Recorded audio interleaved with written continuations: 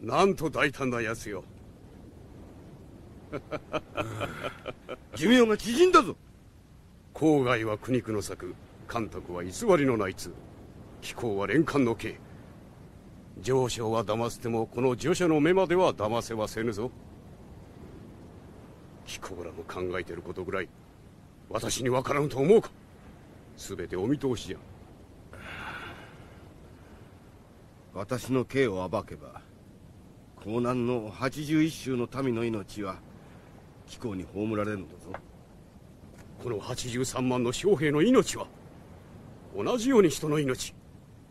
命に慶長はなかろう。玄直よ。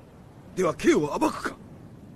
いや私は劉備殿から受けた恩を忘れてはおらん。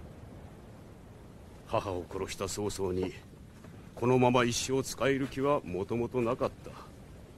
だから貴公の刑を暴きはせぬ。ただ合戦が始まればこの辺り一帯は火の海。私も火を免れることはできぬだろう。どうしたらこの基地を脱せるものか去る前にどうかそれだけ教えてくれぬか。そこまで先が読めているのならそれぐらいのことは自分で分かろう。いやぜひ教えてくれ。では陣営に戻ったら密かに腹心に噂をばらまかせよ清涼の馬頭と関水が謀反を起こして京都に攻め入ったとな。曹操がこれを聞いて慌てたら彦は三冠の守りを買って出るのだ。三冠におればその身は安全。よし。まことに形しない資源また会おう。貴子こそご無事で。どうぞ。ああ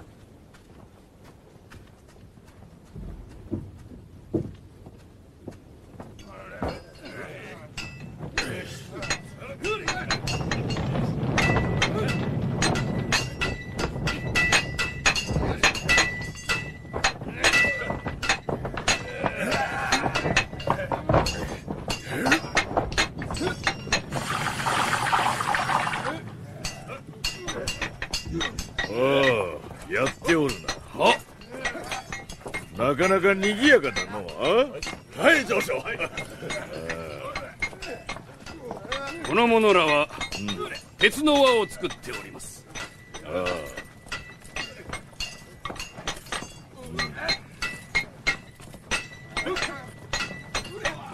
ああ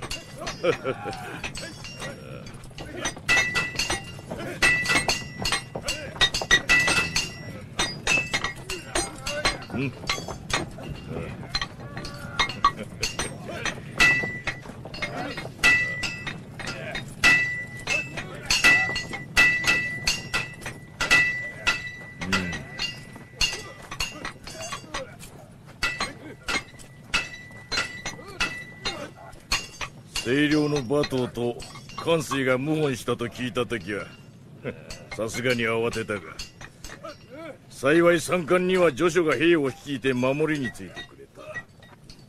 そろそろ兵線をつなぐ作業も終わり間もなく川もへ出られよいよいよ東郷を滅ぼせると申すのだ。うんその通りだ。あ次はあちらだ。あ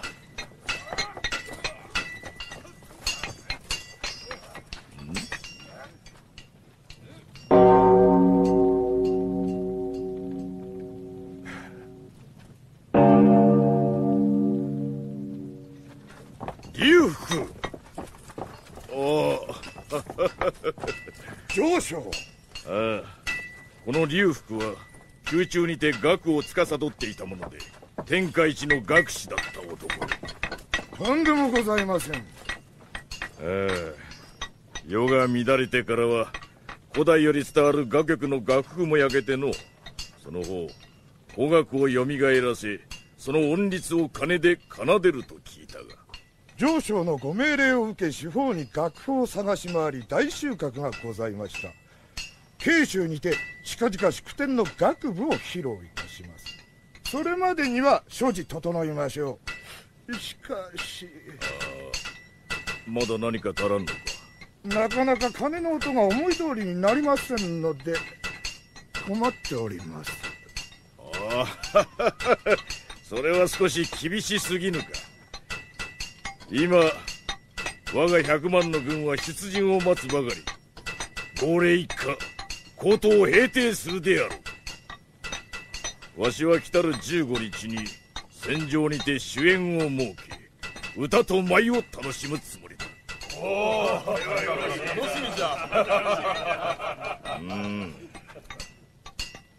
わしがここ数年戦の合間に作りためた曲や詩は20ほどあるだろうか。中から宴に向いたものを選び古典を添えて歌い踊ろう。あは15日までには必ず鐘を完成させて舞を添え上昇にお目にかけます。楽しみにしておるぞ。え？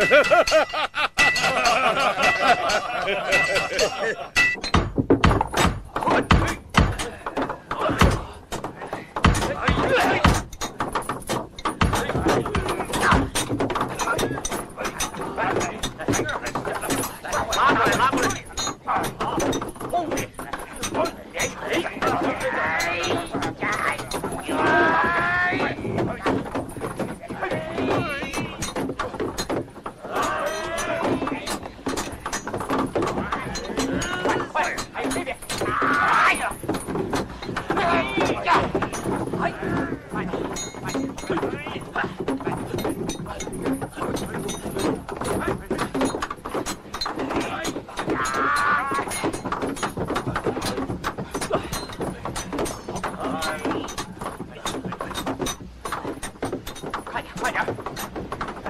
快点，快，快，来，来，快，快，快，快。